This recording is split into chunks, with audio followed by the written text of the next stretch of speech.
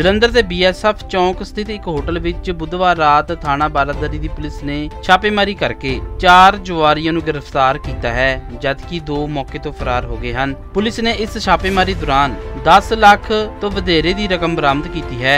ਇਸ ਪੂਰੇ ਮਾਮਲੇ ਦੇ ਸਬੰਧ ਵਿੱਚ ਥਾਣਾ ਇੰਚਾਰਜ ਰਵਿੰਦਰ ਕੁਮਾਰ ਨੇ ਜਾਣਕਾਰੀ ਦਿੱਤੀ।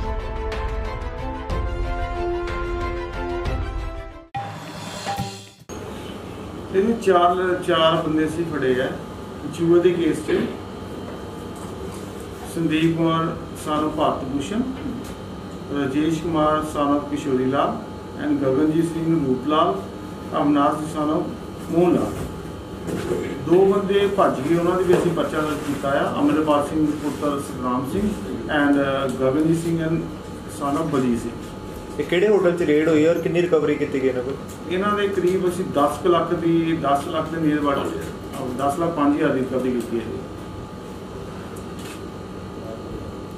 ਸਰ ਜਿਹੜੇ ਇਹ ਵੈਸੇ ਜਿਹੜੇ ਬੰਦੇ ਦੀ ਗ੍ਰਿਫਤਾਰੀ ਦਿਖਾ ਰਹੇ ਹੋ ਚਾਰ ਬੰਦੇ ਵੈਸੇ ਕੰਮ ਕੀ ਕਰਦੇ ਆ? ਇਹਨਾਂ ਬਾਰੇ ਅਹ, ਅਜੇ ਕੋਸ਼ਿਸ਼ ਕਰਨੀ ਬਾਕੀ ਹੈ। ਤੇ ਰੀਸੈਂਟਲੀ ਤੁਸੀਂ ਆ ਗਏ ਤਾਂ ਆਪਾਂ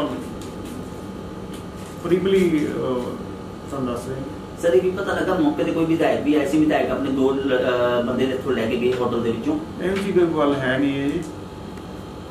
ਸਰ ਜਿੱਦਾਂ ਤੁਸੀਂ ਦੱਸਿਆ ਕਿ ਹੋਟਲ ਦੇ ਵਿੱਚ ਜੂਆ ਚੱਲਦਾ ਪਿਆ ਸੀ ਹੋਟਲ ਦੇ ਉੱਤੇ ਵੀ ਕਾਰਵਾਈ ਬਣਦੀ ਹੈ? ਕਿਉਂਕਿ ਹੋਟਲ ਅੰਦਰ ਜੂਆ ਖਿਲਾ ਰਿਹਾ? ਇਹ ਉਹ ਇਨਵੈਸਟੀਗੇਸ਼ਨ ਦਾ ਪਾਰਟ ਹੈ। ਇਹ ਪਾਰਟ ਆਫ ਦਾ ਇਨਵੈਸਟੀਗੇਸ਼ਨ ਕਿੰਨੇ ਕੁ ਵਜੇ ਦਾ ਟਾਈਮ ਔਰ ਕਿਹੜਾ ਹੋਟਲ ਸੀਗਾ?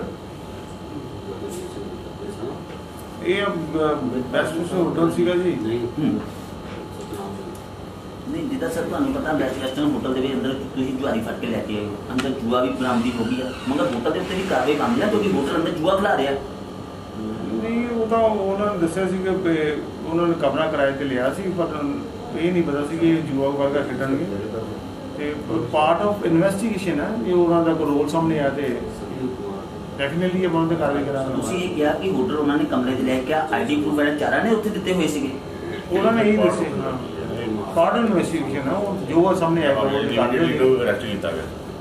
ਟੋਟਲ 6 ਬੰਦੇ ਸੀ ਜਿਨ੍ਹਾਂ ਚੋਂ ਫਰਾਰ ਕੀਤੇ 6 ਬੰਦੇ ਦੋ ਬੰਦੇ ਫਰਾਰ ਹੋ ਗਏ ਹੈ, ਚਾਰ ਬੰਦੇ ਦਾ ਇਨਵੈਸਟੀਗੇਸ਼ਨ ਅਰੈਸਟ ਕਰ ਲਏ ਦੇਸ਼ ਦੁਨੀਆ ਦੀਆਂ ਤਾਜ਼ਾ ਖਬਰਾਂ ਦੇ ਲਈ ਹੁਣੇ ਪਲੇ ਸਟੋਰ ਤੋਂ ਡਾਊਨਲੋਡ ਕਰੋ ਪੰਜਾਬ ਦੀ ਆਵਾਜ਼ ਅਜੀਤ ਨਿਊਜ਼ ਐਪ।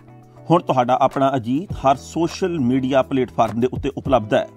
ਫੇਸਬੁੱਕ ਦੇ ਉੱਤੇ ਹੁਣੇ ਲਾਈਕ ਤੇ ਫੋਲੋ ਕਰੋ ਅਜੀਤ ਦਾ ਅਫੀਸ਼ੀਅਲ ਪੇਜ ਡੇਲੀ ਅਜੀਤ ਤੇ ਹਾਂ ਨਾਲ ਹੀ ਦੋਸਤਾਂ ਨੂੰ ਪੇਜ ਲਾਈਕ ਕਰਨ ਦੇ ਲਈ ਇਨਵਾਈਟ ਕਰਨਾ ਨਾ ਭੁੱਲਣਾ। ਇੰਨਾ ਹੀ ਨਹੀਂ, ਹਿੰਦੀ ਦੇ ਵਿੱਚ ਖਬਰਾਂ ਵਾਸਤੇ ਲਾਈਕ ਤੇ ਫੋਲੋ ਕਰੋ ਸਾਡਾ ਫੇਸਬੁੱਕ ਪੇਜ ਅਜੀਤ ਸਮਾਚਾਰ ਹਿੰਦੀ।